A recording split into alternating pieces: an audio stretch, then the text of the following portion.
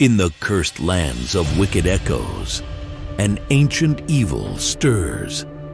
The mists conceal horrors unseen, and the corrupting darkness twists everything it touches beauty, soul, and mind. Nothing is spared. Demons prowl the shadows, and murderous fiends lurk in the woods, waiting for their prey. Grimholt is a place drowning in fear. Spirits of beauty by day, reflections of grace and light.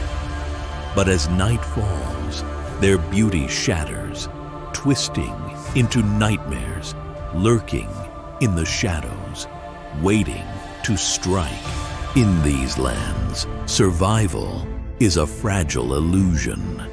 Cannibal covens hide deep in the forests, and haunted spirits roam the twilight. Every step deeper into the woods pulls you closer to the horrors that haunt the mists. The power you seek lies in shadow, but beware. The corrupting darkness demands its price.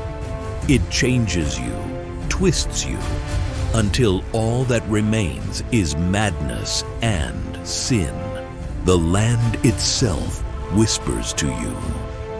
The further you travel, the heavier the curse grows. Will you resist, or will the darkness devour you whole?